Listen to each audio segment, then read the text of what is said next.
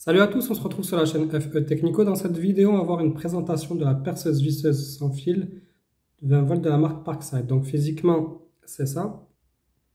Donc du coup, c'est la version PABS 20 LIF7.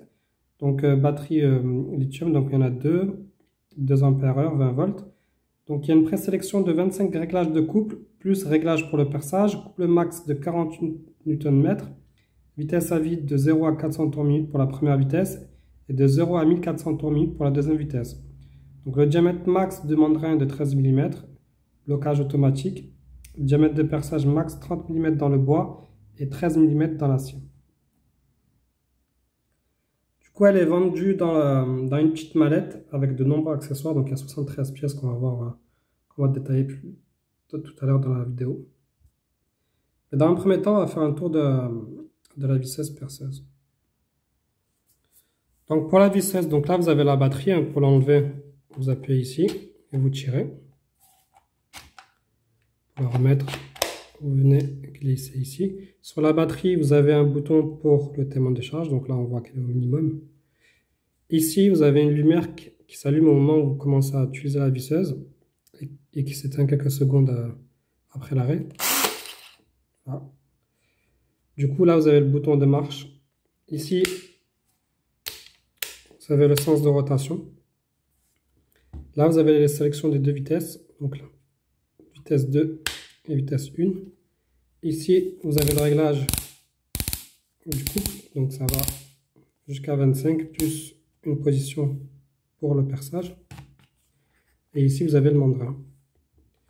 De ce côté-là, de chaque côté, vous avez deux aimants, c'est pour mettre les embouts. Et ici, de ce côté-là, en fait, ça, c'est pour le mettre à la ceinture. Vous l'accrochez à la ceinture. C'est assez pratique. Par contre, ça serrait bien la ceinture, sinon ça, risque de faire descendre le pantalon. Du coup, la visseuse est vendue avec deux batteries. Donc, vous en avez la deuxième qui est ici. Donc, pareil, hein, vous avez un bouton pour la charge, un chargeur, une notice d'utilisation une petite mallette. Donc du coup au niveau de la mallette, au-dessus, vous avez un petit compartiment avec plusieurs bacs, avec plusieurs accessoires. Donc il suffit de soulever le bac pour pouvoir le sortir. Donc on va voir ça en détail.